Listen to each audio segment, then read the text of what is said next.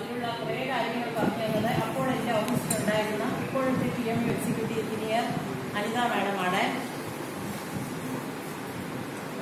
പത്തൊമ്പത് വർഷത്തെ സേവനം ഇന്ന് അവസാനിക്കുമ്പോൾ ഇനി പറയാനുള്ളത് വരും വർഷങ്ങളിൽ ജീവനക്കാരുടെ എണ്ണത്തിൽ എണ്ണത്തിൽ ഗണ്യമായ കുറവ് വരും. അപ്പോൾ സർവീസുള്ളവരോട് എനിക്ക് എന്തെങ്കിലും പറയുവാനുണ്ടോ? ഉണ്ട്.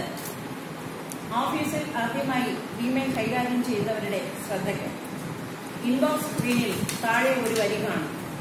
You are current using fifteen thousand eighty eight M B of your seventeen thousand four nought eight M B ഈ fifteen thousand something M B എന്നത് എപ്പോഴും ബിലോ ടെൻ തൗസൻഡ് ആക്കി വെച്ചാൽ ഇമെയിൽ വേഗത്തിൽ കൈകാര്യം ചെയ്യാൻ സാധിക്കും. ഓൾ ഫയൽസിലെ പഴയ ഫയൽസ് എല്ലാം കളയേണ്ടതാണ്. ഓഫീസിൽ ഈ വിഷയം ഞാൻ അവതരിപ്പിച്ചപ്പോൾ പുതുതായി വന്ന ശ്രീ ശ്രീകുമാർ പണിക്കർ ഡ്രൈവറിൽ ഉള്ള പല ഫയൽസും മാറ്റി തന്നു. അതിന് പ്രത്യേകം നന്ദി.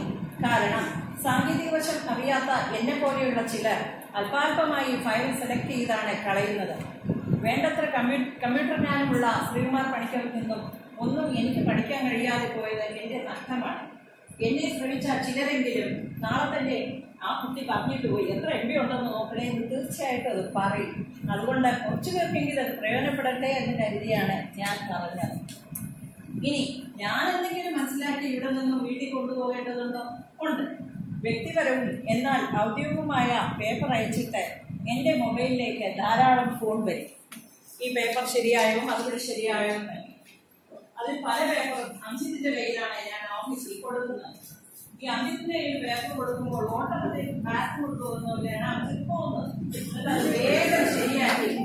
മറുപടി കൊണ്ടുതരും ഞാനിത് പിന്നെ ഞങ്ങൾ നമ്പറൊക്കെ ഇട്ട് ഇമെയിൽ ചെയ്യുമ്പോഴത്തേക്ക് തിരിച്ച് ഞാൻ അവർക്ക് മുന്നിൽ ഞാൻ അങ്ങോട്ട് ഫോൺ ചെയ്ത് പറയുമ്പോഴേക്കും അവർ എന്നെ ഇങ്ങോട്ട് വിളിക്കും. അപ്പോൾ അവർ പറയുന്നത് ഇത്ര പെട്ടെന്ന് ശരിയായെന്ന് വളരെ സന്തോഷത്തെയോടെയാണ് ചോദിക്കുന്നത്. അത് ഞാൻ സി എ ഡി സിന്റെ ഓഫീസിന്റെ പേര് അഭിമാനിക്കുന്നു.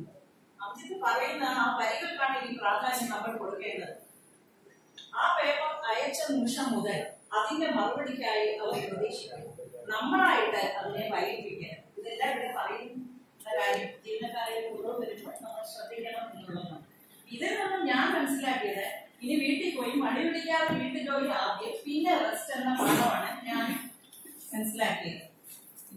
ഒരേ ജോലി രണ്ടായിട്ട് വ്യാഖ്യാനിക്കുന്നതെങ്ങനെ ബി സർക്കുലർ എല്ലാം ഞാൻ ഏഴ് സർക്കിളിനും ഇരുപത് ഡിവിഷനും അയച്ചാണ് ശീലം. ചില ബോർഡ് ഓർഡേഴ്സ് ആവശ്യമില്ലെങ്കിലും ചിലപ്പോൾ ചില സർക്കിളിനെ പോയി പോയി. ഇപ്പൊ ചില സർക്കിളിൽ നിന്നും എന്നോടുള്ള സ്നേഹമുണ്ട്. ആവശ്യമില്ലെങ്കിൽ ഇങ്ങോട്ട് എല്ലാ ബോർഡ് ഓർഡർ അയച്ചു തരുമെന്ന് ചില കൂട്ടുകാരികളെന്നെ സ്നേഹപൂർവം ശാസിക്കും. പക്ഷെ അതേ ബോർഡ് ഓർഡർ വേറെ സർക്കിളിലുള്ള ഒരു കൂട്ടുകാരി പറയും വേറെ കൃത്യമായിട്ട് എല്ലാം അയച്ചു തരും ഞാൻ ആ ബോർഡ് ഓർഡർ എല്ലാം എടുത്ത് എന്റെ പേഴ്സണൽ വ്യൂ ഓഫ് ഫയലായിട്ട് ഞാനത് സേവ് ചെയ്ത് വെക്കാറുണ്ടെന്ന് പറയും. രണ്ടും രണ്ട് സമീപനമാണ്. അത് സ്നേഹപൂർവം ശാസ്ത്രീയാണെന്നേ ഞാനത് കരുതുന്നുള്ളൂ എന്താ കെ എസ് ഇ ബി സൈറ്റിൽ പോയ എല്ലാ ബോർഡ് ഓർഡറും കിട്ടത്തില്ലേ എന്ന് ചോദിച്ചാൽ നമ്മൾ അതൊന്നും കിട്ടി നോക്കേണ്ട കാര്യമില്ല. നമ്മുടെ ഓഫീസിൽ വരുന്ന ബോർഡാണ് നമ്മൾ കൊടുക്കുന്നു അവർ എടുത്തോ ഇല്ലയോ എന്ന് നമ്മൾ നോക്കേണ്ടതില്ല. എന്റെ കർമ്മം ഞാൻ ചെയ്തു. അത് പലരും ഹാപ്പിയുമാണ് ഇനി എന്നുള്ളത് ചിലപ്പോൾ എ പി ആർ ടിയുടെ ബോർഡ് ഓർഡർ ഞാൻ ചിലപ്പോൾ വേറെ സ്ഥലത്ത് അയച്ചു കൊടുത്തിട്ടുണ്ട്. റെന്റിന്റെ ബോർഡ് ഓർഡർ അയച്ചു കൊടുത്തിട്ടുണ്ട്. സാരമില്ല അതൊരു ചെറിയ മിസ്റ്റേക്ക് ആയി കരുതിയാൽ മതി. നമ്മളെല്ലാവരും പറയാറുണ്ട് നമുക്ക് ശേഷം കുറേ ഒന്നുമല്ല. അതിനർത്ഥം മാറ്റി ഞാൻ പറയുന്നു. നമ്മുടെ സീറ്റിലെ വർക്ക് നമ്മളായിട്ട് പ്രളയമാക്കാതെ നീരൊഴുക്കായിട്ട് ചെ- ശ്രമിക്കാൻ ചെയ്യാൻ ശ്രമിക്കണമെന്നാണ് പറയുന്നത്.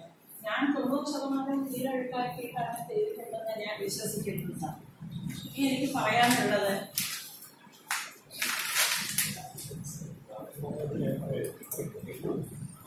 എനിക്കിവിടെ തന്ന എല്ലാ സ്നേഹോപകാരങ്ങൾക്കും നന്ദി.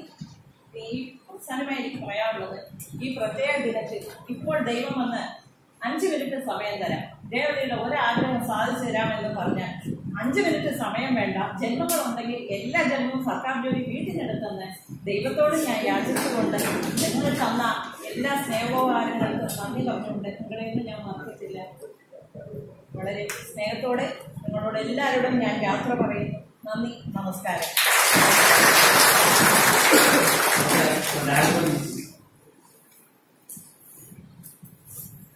ഈ യോഗത്തിന്റെ അധ്യക്ഷനുള്ള പണിക്കർ സാർ ഇന്നത്തെ രാധാകൃഷ്ണൻ എന്റെ പ്രിയപ്പെട്ട സഹ- സഹപ്രവർത്തകർ എന്റെ സ്നേഹം നിറഞ്ഞ സഹപ്രവർത്തകർ ഈ ഇലക്ട്രിസിറ്റി ബോർഡിൽ ഏകദേശം മുന്നൂറ്റി എൺപത്തൊന്ന് പേരാണ് ഇവിടെ വിവിധ ഓഫീസുകളിൽ നിന്നായിട്ട് റിട്ടയർ ചെയ്യുന്നത് വൈദ്യുതി ബന്ധം മാത്രം ഇരുപത്തി മൂന്നാം ആൾക്കാരാണ് ഇന്ന് റിട്ടയർ ചെയ്തത് സ്റ്റേറ്റ് നമ്മുടെ സ്റ്റേറ്റ് ഒട്ടൊക്കെ എടുക്കുകയാണെങ്കിൽ സർക്കാരിന് മാത്രം ഏകദേശം ആറായിരം ആൾക്കാർ റിട്ടയർ ആയിട്ടുണ്ട് ഏറ്റവും യങ്ങസ്റ്റ് ഏജിൽ ഒരു അമ്പത്താറ് വയസ്സെന്ന് പറയുമ്പോൾ ഇന്നത്തെ ഇന്നത്തെ ലൈഫ് സ്പാൻ വെച്ച് എഴുപത്തഞ്ച് അൻപത് വയസ്സ് ആവറേജ് എഴുപത്തഞ്ചാണ് വളരെ അസുഖമൊന്നും ക്രിട്ടിക്കൽ ആയിട്ടുള്ള അസുഖമൊന്നും ഇല്ലെങ്കിൽ നമ്മളുടെ റിട്ടയർമെന്റ് ലൈഫ് സ്പാൻ പറഞ്ഞ് എഴുപത്തഞ്ച് വയസ്സ്.